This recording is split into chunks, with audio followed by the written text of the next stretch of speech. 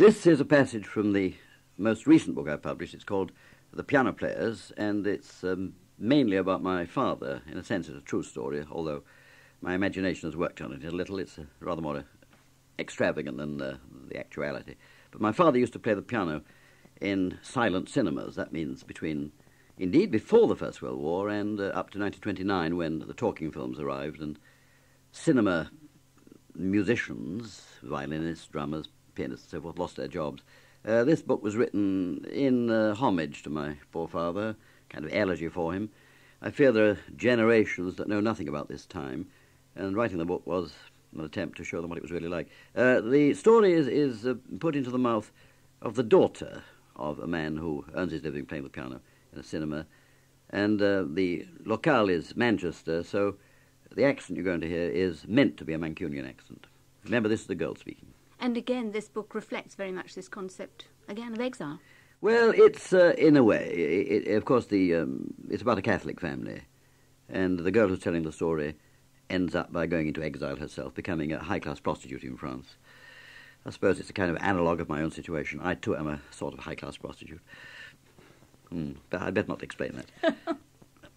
anyway, here we are the films he hated most were the comedy ones, Charlie Chaplin and Chester Conklin and so on, because playing was really hard work then, very fast ragtime style, no real letting up at all, not even for the odd kiss and cuddle.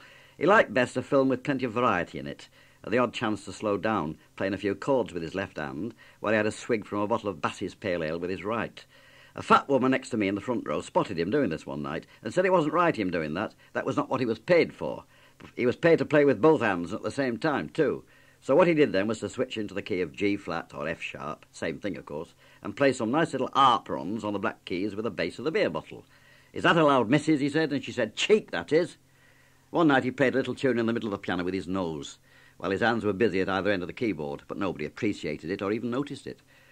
A film with plenty of variety was what he liked, as I just said, and this meant a, a railway train, a house on fire, a scene by the lake for lovers, galloping horses, a pair of wooden rickers in his right hand and quick chords with his left, a fist fight that did not go on too long, a ball scene with a blue Danube waltz for preference, soldiers marching down the street coming home from the war, that sort of thing. Battle scenes were a big nuisance. He could get machine gun effects with the wooden rickers, but the big guns were not possible for him. He brought me into his special effects when I was nine. There was this Mary Pickford film in which she sings Home Sweet Home, with the words coming on the screen just to show what she was singing. And the second night of the showing of it, he had me there next to him actually singing the song, but not very well.